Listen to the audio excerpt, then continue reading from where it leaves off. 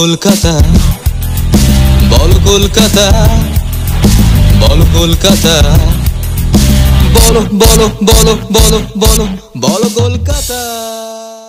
ঘূর্ণিঝড় সম্পর্কে আগাম সতর্কবার্তা। গুজবে কান না দিয়ে রেডিও বা টিভি ও সংবাদপত্রে আবহাওয়ার খবর ও প্রশাসনের সতর্কবার্তার দিকে লক্ষ্য রাখুন। মৎস্যজীবীরা সমুদ্রে যাবেন না ও নৌকা নিরাপদ স্থানে বেঁধে রাখুন।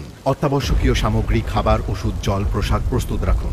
মোবাইল ফোন চার্জ দিয়ে রাখুন। জরুরি নথিপত্র ও মূল্যবান সামগ্রী জল থেকে বাঁচিয়ে রাখুন। নিরাপত্তার জন্য গৃহপালিত প্রাণীর বাঁধন খুলে দিন। খড়ের ঘর বা কাঁচা বাড়ি ও ক্ষতিগ্রস্ত পাকা বাড়িতে থাকবেন না। ঘূর্ণিঝড় আশ্রয় কেন্দ্র বা নিকটবর্তী নিরাপদ পাকা বাড়িতে আশ্রয় নিন। ভেঙে পড়া বৈদ্যুতিক স্তম্ভ, তার ও ধারালো বস্তুর ব্যাপারে খেয়াল রাখুন। প্রয়োজনে রাজ্য সরকারের হেল্পলাইন নাম্বার এক শূন্য সাত শূন্যে ফোন করুন। পাশাপাশি করোনা থেকে রক্ষা পেতে সবসময় মাস্ক পরুন। ঘন ঘন সাবান ও জল দিয়ে হাত ধুয়ে নিন এবং সামাজিক দূরত্ব বজায় রাখুন। পশ্চিমবঙ্গ সরকার দ্বারা জনস্বার্থে প্রচারিত। করোনা ভাইরাস নিয়ে অযথা আতঙ্কিত হবেন না বা গুজব ছড়াবেন না। পশ্চিমবঙ্গ সরকার এই ভাইরাস মোকাবেলায় আপনার পাশে আছে।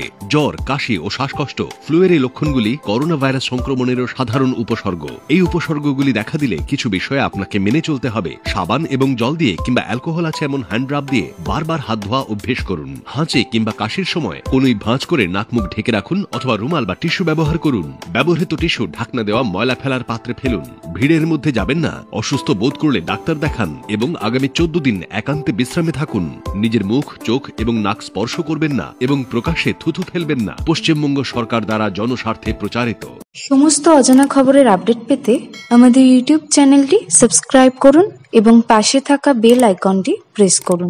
এছাড়া গুগলে গিয়ে W W www.bolokkolkata.com web portal চ্যানেলটি সাবস্ক্রাইব করুন।